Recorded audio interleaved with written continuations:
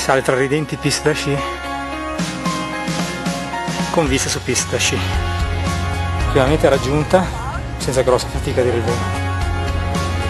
Una delle mete più ambite delle Dolomiti.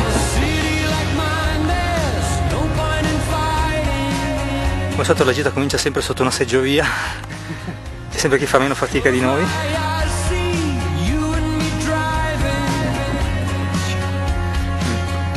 La vista spazia verso orizzonti lontani, possiamo solo immaginare.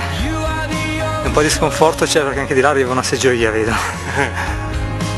Purtroppo le cime sono completamente dentro nelle nubi. Dovrebbe essere la roda di Vail.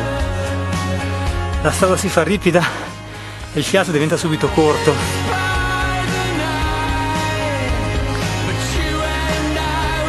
E ma che ha caccato un po' le rocce delle grigne, addirittura può permettersi di aggirare la ferrata.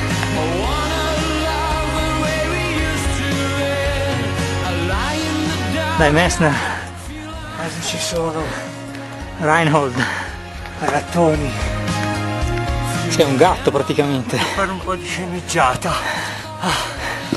Lo sforzo immane. Bello dai. Bello, bello, bello. Passo delle colonne è una gran sequenza di tornanti di legno.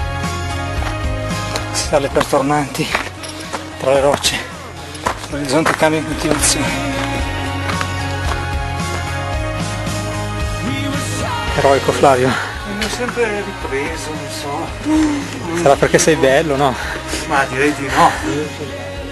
Non ti samuelizzi un po' a fare qualche foto? Non ti ispira il paesaggio?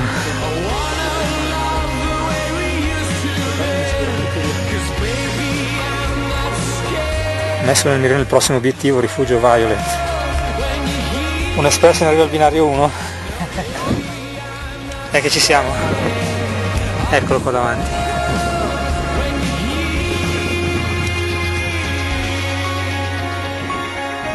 Ora per entrare ci aspetta una bella rampegata fino al passo delle cigolate. Questa è l'ultima prova della verità. Abbandoniamo per l'ultima volta la conca del Violet. Ah ma sali così senza neanche rimboccarti le maniche. Tranquillo. Le maniche corte.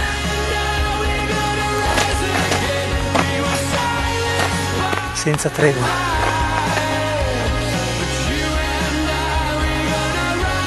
L'ultimo sforzo. Ah. Sì, è quello che si vede. Ah! Eh, sono 20 minuti al massimo, non di più.